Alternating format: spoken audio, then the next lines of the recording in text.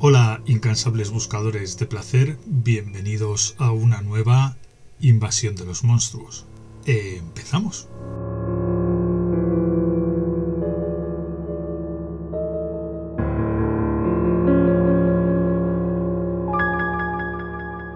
Y es que, como lo prometido es deuda, hoy venimos a hablar de la película Lecturas Diabólicas. Y seguimos en la misma tónica, películas que, en esta sección, en esta invasión de los monstruos, tengo que tener en formato físico para poder hablar de, de ellas.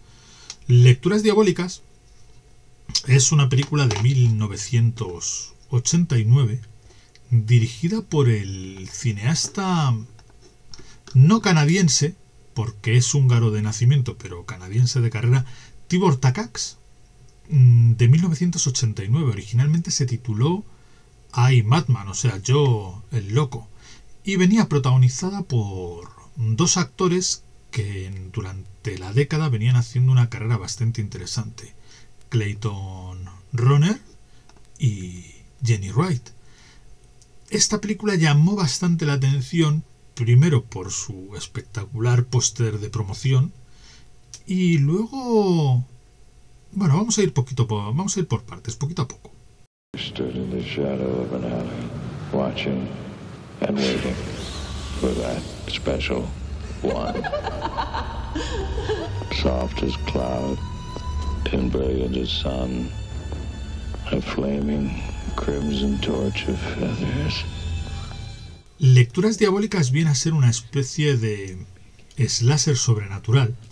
Al menos muchas veces se, califica como slasher, aunque no es exactamente un, un slasher. Que nos cuenta cómo una aspirante actriz, Virginia, trabaja en una librería de libros usados en, en Los Ángeles. Toda la película tiene un aspecto muy de, de pulp, muy de revista barata, muy de cómic barato de los años 50, ¿no? Toda la puesta en escena de... Y se aprovecha mucho de ello. De hecho, todo va que cae en sus manos un libro que se llama I, Madman, ¿no? Yo el, el, loco, en el que hay un, un asesino, un, ser deforme, que es el un tal doctor Alan Kessler, ¿no? que es, de hecho es, es la criatura o, o el ser que vemos en el, en el póster, ¿no? Y dijéramos que es como que poco a poco lo que ella va leyendo se va convirtiendo en, en realidad. Es una historia pues, bastante sacada del tema pulp, ¿no? Muy en consonancia con lo que se hacía en esa época y lo que empezaba a estar Imaginad que es una película de 1989. Si ahora está de moda en 2024 el terror de finales de los 80 y 90, pues en los finales de los 80 estaba muy de moda todo el terror de finales de los 50 y primeros 60. La película, una de las cosas, o sea, cuando llegó, una de las cosas que más llamó la atención y que todo, todo el mundo más le, le llamó la atención, a pesar de que no fue un gran éxito de, taquilla fue ese aspecto que tenía de película clásica de monstruos, ¿no? De, asesino, ¿no? Porque el, eh, nuestro villano principal tiene un aspecto muy, muy clásico, ¿no? Mezclado con ese aire de, film noir. De hecho, el, protagonista masculino, Clayton Runner, es un policía duro de la época. Y la protagonista femenina, nuestra protagonista, Jenny Wright, que interpreta a Virginia, tiene un aire a chica pin-up eh, espectacular. Y es que ahí es donde quiero detenerme un momento a hablar de la actriz Jenny, Jenny Wright. Jenny Wright nació en Nueva York en 1962 y durante los 80 tuvo una carrera bastante curiosa. Luego, es verdad que por algún motivo se, se fue diluyendo, pero la podemos encontrar en la película eh, de Pink Floyd, The Wall, Estuvo en el clásico de Joel Schumacher, Santelmo Punto de Encuentro, donde había un montón de actores de la época, ¿no? Como Emilio Stevens, Rob Love, Andrew McCarthy, Jude Nelson, Alice Demi Moore, Andy McDowell. ¿no? Pues eh, Jenny Wright estaba en, esa película. Fue una de las protagonistas del clásico Near Dark de Catherine Bigelow, aquella película con Adrian Pasdar, Bill Paxton y Lance Henriksen, ¿no? Y Janet Goldstein, aquella de los, de los vampiros, ¿no? Tan el debut en la dirección de. de. de Catherine Bigelow. Y luego, a partir de ahí, es como que su carrera, sobre todo a partir de los 90, se diluyó hasta que se retiró en 1998. En los 90 ya apareció en, en, cosas como hizo un papel muy pequeño en Intrépidos Forajidos, la secuela de Arma Joven, apareció en El cortador de césped, aquella que era una especie de adaptación de, un relato de, de, Stephen King con, con eh, Pierce Brosnan y Jeff Fahey, que yo es ahí, luego mirando en internet he visto que hizo un par de cosas más, pero en 1992 es donde le pierdo la, la pista a Jenny, Jenny Wright, o sea, apenas tuvo 10 10 años de, carrera, una actriz con una belleza bastante, bastante increíble.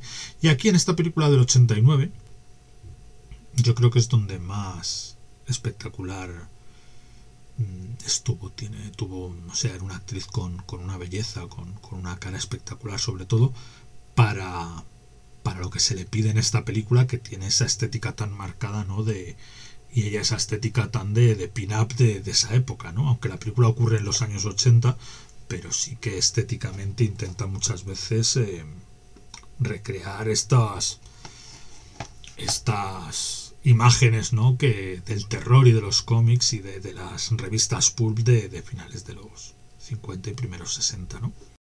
recordad incansables buscadores de placer que sigue en marcha el sorteo de los últimos días del terror de Videoclub este libro de escrito por Alberto Pelaez e Igna Vacas, ¿no? Eh, un libro bastante chulo sobre eso, un montón de películas de películas, eh, pues las últimas que llegaron al videoclub.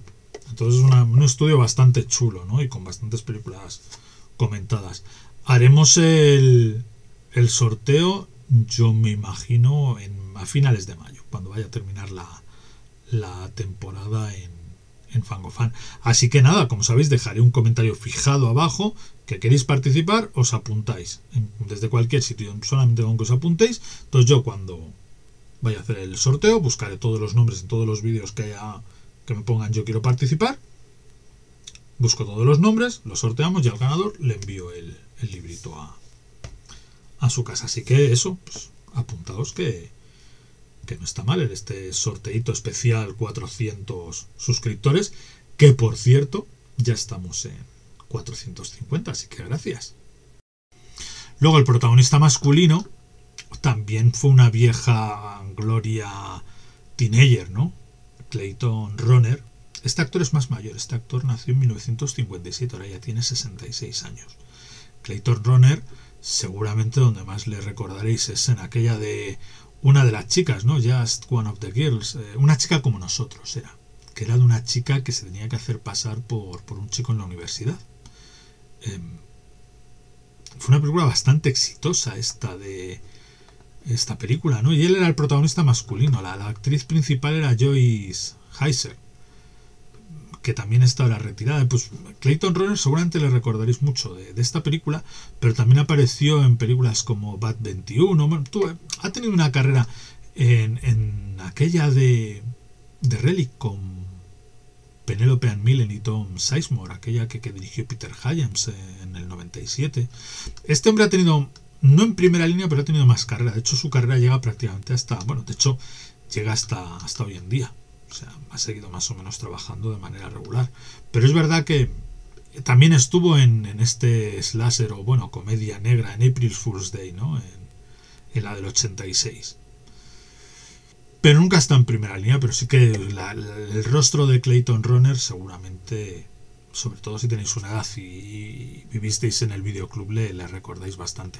Y el villano de la función está interpretado por, por un señor que se llama Randall William Cook, que en realidad es más un artista de efectos especiales. Ha trabajado, por ejemplo, en la trilogía del Señor de los Anillos o King Kong con Peter Jackson, ha estado en Cazafantasmas y también estuvo cuidado en La Puerta. ¿Y por qué me voy a detener en la película La Puerta? Tibor Takacs, este director húngaro de nacimiento, nació en Budapest, pero que ha tenido su carrera mayormente o su educación cinematográfica en, Canadá. No fue su debut, pero sí fue su primera película importante. En 1987, la película anterior a Lecturas Diabólicas fue La Puerta. La Puerta era aquella película con un Stephen Dorff niño, en el que dos hermanos se quedan un fin de semana en casa con unos vecinos, o sea, con un vecino, y en el patio de atrás abren un agujero que da directamente al infierno. Esta, esta The Gate, la puerta, pues pertenece a ese género de aventuras casi terroríficas o terroríficas que se puso tan de moda en, en los 80, ¿no? Y quizá es era una película de muy bajo presupuesto, está la puerta, costó 6 millones, pero fue bastante exitosa, sobre todo en, en los videoclubs. Con lo cual, esta, de puerta, esta la puerta, que tuvo bastante éxito y que, y que gustó bastante, hizo que, que puso en el mapa la carrera de este Tibor Takacs. Entonces su siguiente película fue eh, Lecturas Diabólicas. O sea que el tío, a pesar de que tenía dos películas antes, una tal Metal Messiah y otra llamada de Tomorrow Man, que yo no las conozco y no las he visto, pues de golpe en los 80 se convierte en, otro gurú del terror. Es que llamaba la atención lo que, lo que hacía. Luego, curiosamente, eh, la carrera de Tibor Takacs no ha sido no ha sido gran cosa.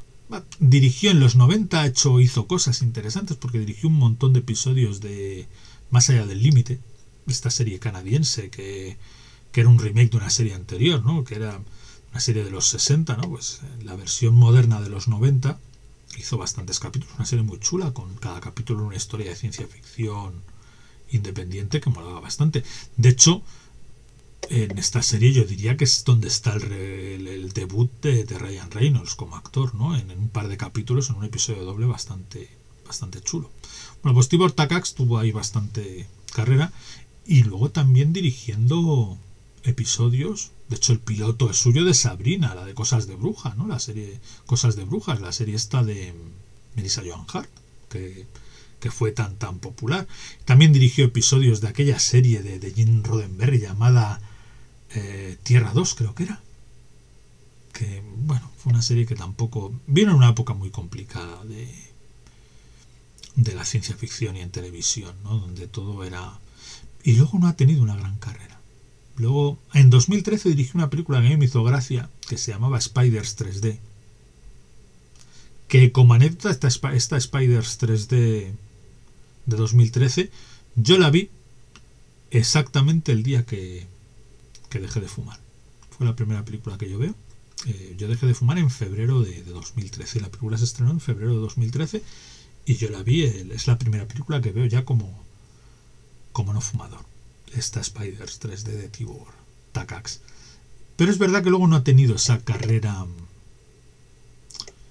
Esa carrera que prometía, ¿no? Con, con estas primeras películas, con esta puerta y estas lecturas diabólicas, porque después en 1990 haría una puerta 2 que fue un desastre.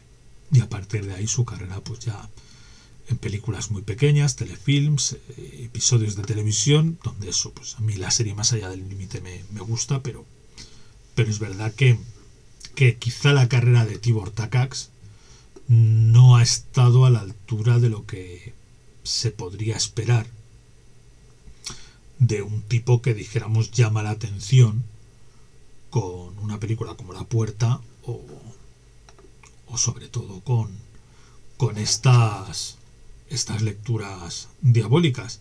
Estas lecturas diabólicas que tienen su estreno a principios de 1989.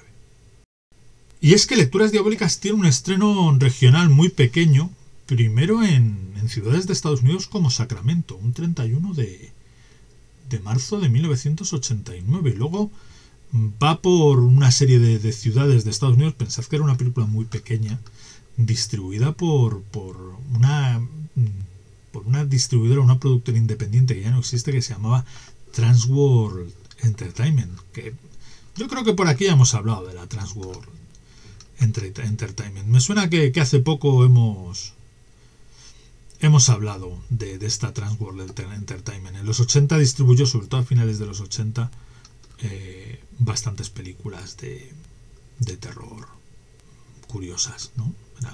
Pero bueno, no, no, dejaba de ser una distribuidora muy, muy chiquitita.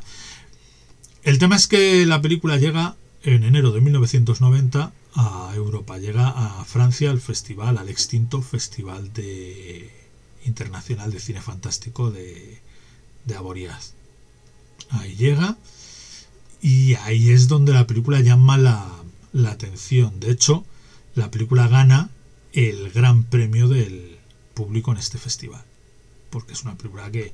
Y aquí, con, llegando en enero del 90 a Europa, consigue que llegara a todas partes. De hecho, la película pues logra una gran distribución en... Pensad que es la época del videoclub, con lo cual tampoco pensemos que, que la película se ve en cines o que arrasa en cines porque es mentira, ¿no? Es una película que llama mucho la atención. Además, por ejemplo, aquí en España, ya no solo los videoclubs, sino que en 1990 han empezado las teles privadas, incluso Canal Plus como, como tele de pago.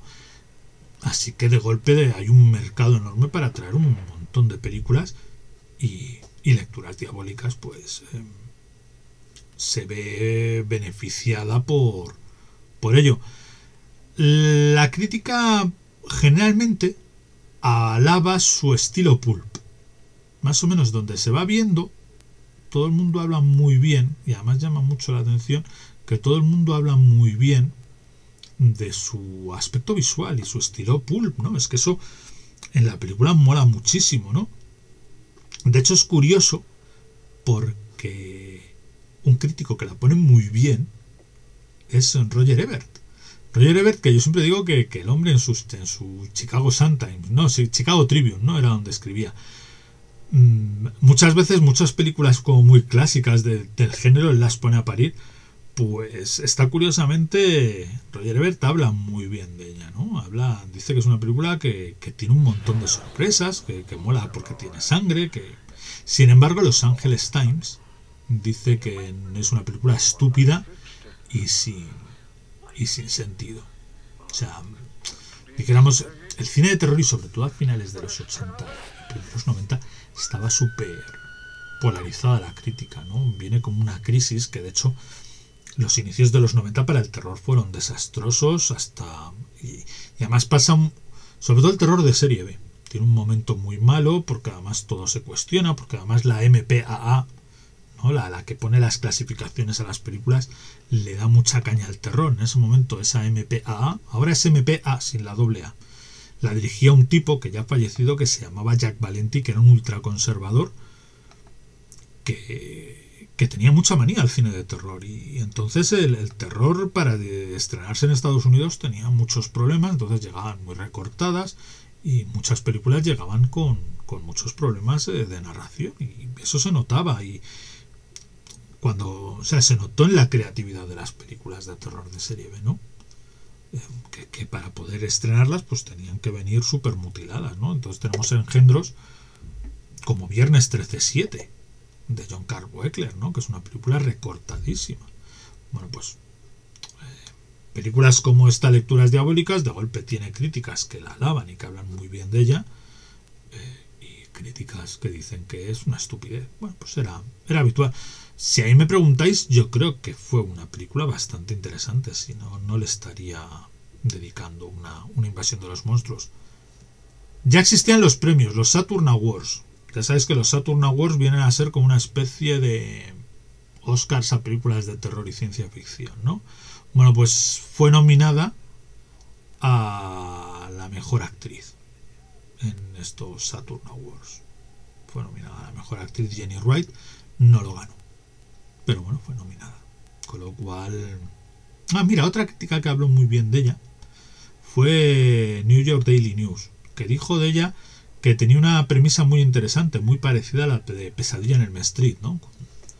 En realidad no se parecen, bueno, no se parecen demasiado, pueden tener algún punto en común. Es verdad que en esos años, ¿no? Porque la película hay Madman, lecturas, diabólicas, se rueda a finales del 87, aunque se estrena en el 89 y incluso en, Europa en el 90, la película se, el rodaje ocurre en Los Ángeles a finales del 87. Eh, en esos momentos el slasher sobrenatural lo está petando gracias. En 1987 se estrena Pesadilla en el Street 3, que es una de las. la segunda entrega más, más exitosa de toda la de toda Pesadilla en el Street, ¿no? Junto con la 4. O son las. Y vienen en esa época. Entonces el slasher sobrenatural, y ya os he comentado que mucha gente califica lecturas diabólicas como un tipo de slasher sobrenatural, es lo que peta. Y es lo que pita en ese momento en el, en el terror, ¿no? Y esta película es verdad que, que tiene mucho de nuestra protagonista leyendo y, de golpe nos metemos. Ella, de hecho, cuando lee la, el libro, ella se ve a sí misma como la protagonista de ese libro. Entonces, eh, vamos a ver a Jenny Wright interpretando a la lectora, ¿no? Y, y a la vez eh, interpretando a los personajes que ella va leyendo, ¿no? Y, y luego, pues, este asesino irá tomando forma, de alguna manera, en el mundo real, ¿no? De, alguna manera, porque en el y además mm, haciendo las cosas que ya va a ir eh, descubriendo en el, en el en el libro, ¿no? Con lo cual, pues sí tiene cierto cierto parecido en la premisa a, a Pesadilla en, en el Street. Ya para ir acabando y últimos datos de, de lecturas diabólicas. La película tiene un presupuesto de 3 millones de, dólares nada más. Para una película de finales de los 80 y de terror, no está, no está mal. En principio aparece en, en VHS estrenada por Media Home Entertainment, aunque aquí en España la trae Columbia Pictures. Aquí en España la, la trae la, la Columbia en VHS y yo creo que al cines también. En 2003, ya en plena moda del DVD, aparece una versión en DVD eh, estrenada por, por Metro Goldwyn Mayer Home Entertainment, con a 4 tercios. Y años más tarde, en 2015, Screen Factory ya estrena un Blu-ray. Eh, maravilloso, un Blu-ray que por cierto ahora mismo no. Este Blu-ray de, de Screen Factory lo podéis encontrar de segunda mano, pero vale una pasta. Yo de hecho lo que tengo, y no, me quedaba más, ¿eh? tengo esta edición de, la película que podríamos decir que es una edición de estas piratonas, ¿no? de estas que es en DVD, no, no encontré el Blu-ray.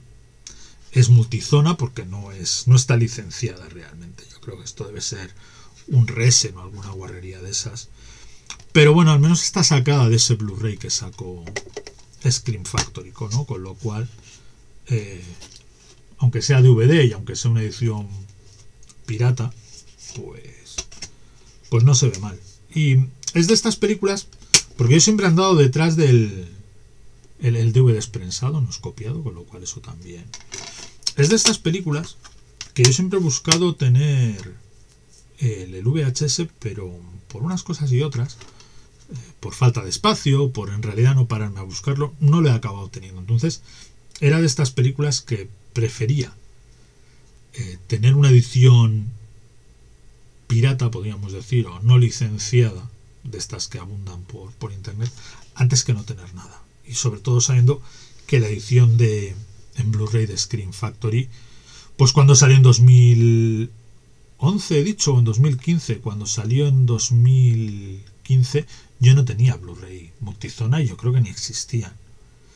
Entonces pues no le iba a comprar. Y yo juraría que Arrow Video, que a mí es una distribuidora que me encanta, inglesa, no ha sacado lecturas diabólicas. Al menos yo no me he enterado. Y probablemente si lo ha sacado esté igualmente ahora mismo eh, totalmente descatalogada. Entonces eso, la encontré muy barata, no la encontré en DVD. Yo creo que es de estas que te cuestan 8 o 9 euros y, es la típica que, acabo prefiriendo tener una copia. Y al menos puede parecer una tontería pero que me respetasen el póster de, la película que siempre me ha encantado ¿no? Eh, con, con el, asesino con la chica leyendo la revista Pulp no todo lo que todo lo que llamaba la atención de, de la película no que me lo hayan respetado en el en esta edición de DVD dijéramos piratona o no licenciada, pues fue suficiente como para que finalmente prefiriese tener esto antes de no tener nada de una, película que, que me gusta bastante. Pues esto ha sido todo, incansables buscadores de placer. Como os digo siempre, suscribíos a este canal, regaladme un like que sube mi ego muchísimo, activar campanita, seguidme en redes sociales, comentad lo que os dé la gana y muy muy muy prontito mucho más, así que estad atentos. Adiós.